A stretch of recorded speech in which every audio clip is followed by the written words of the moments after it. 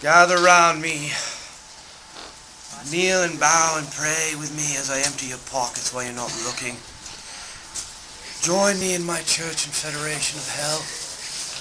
Together we will overcome the wrath of God.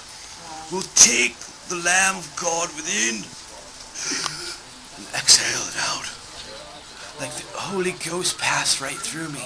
The other day I did see the Holy Ghost when I was smoking some herb. I breathed in. I breathed out. I saw, I thought I saw a ghost. But it was just the smoke. That's all I saw. I thought I seen the Holy Ghost pass right through me. But it was just weed smoke.